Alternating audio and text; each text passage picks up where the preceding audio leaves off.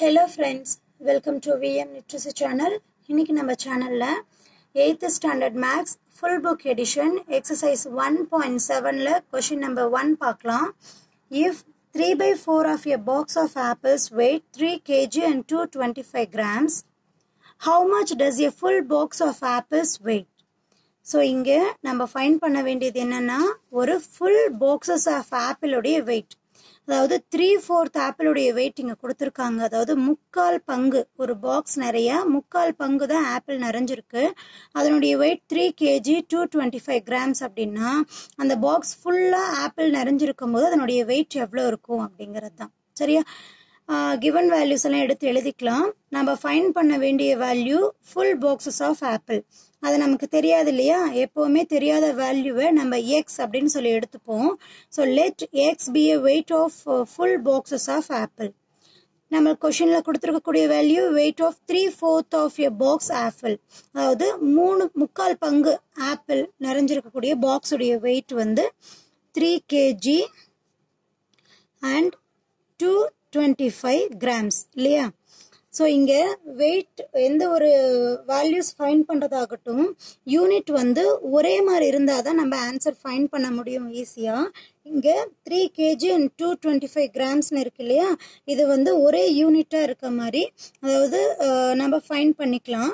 So இது எப்படி எழுதலாம் அப்படின்னா three point two two five kg அப்படின்னு சொல்லி எழுதிக்கலாம் நம்ம கன்வீனியன்ட்டுக்காக அதாவது த்ரீ கேஜி மூணு கிலோ இரநூத்தி இருபத்தைந்து கிராம் அப்படிங்கிறத three point two two five kg அப்படின்னு சொல்லி நம்ம கன்வீனியன்ட்டுக்கு எழுதிக்கிறோம். ஸோ நாம் ஃபைன் பண்ண வேண்டிய வேல்யூ என்ன? எக்ஸோடைய வேல்யூ இல்லையா?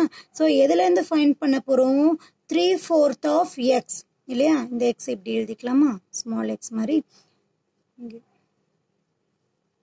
So three fourth of X எதுக்கு equal three point two two ஃபைவ்க்கு ஈக்குவல் சரியா?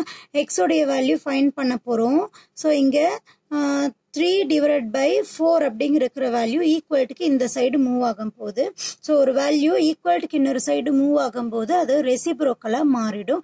ஸோ த்ரீ பை ஃபோர் அப்படிங்கிறது ஃபோர் பை த்ரீ அப்படின்னு சொல்லி சேஞ்ச் ஆகிடும் சரியா?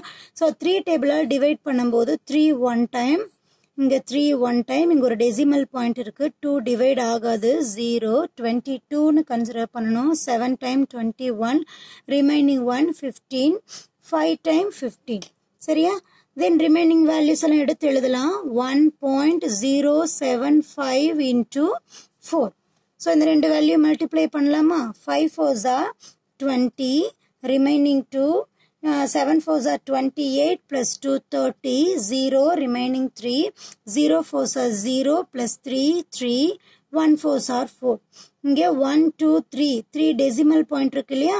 ஸோ த்ரீ டெசிமல் பாயிண்ட் நமக்கு இங்கே வேல்யூஸ் என்ன இருக்குது கேஜியில் இருக்கு.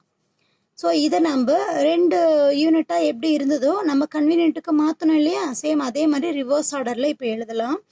ஸோ எப்படி எழுதலாம்? Four kg three hundred grams அப்படின்னு எழுதலாமா?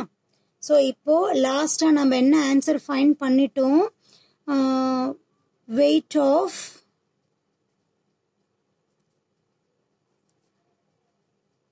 full box of apples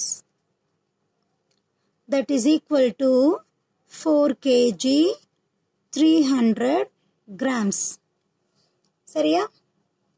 so first கொஷினுக்கான எக்ஸ்ப்ளனேஷன் புரிஞ்சிருக்கும் அப்படின்னு நினைக்கிறேன். மறக்காமல் வீடியோக்கு லைக் பண்ணுங்கள் கமெண்ட் பண்ணுங்கள் விஎம் லிட்ரஸி சேனலுக்கு சப்ஸ்கிரைப் பண்ணிக்கோங்க. தேங்க்யூ ஃபார் வாட்சிங்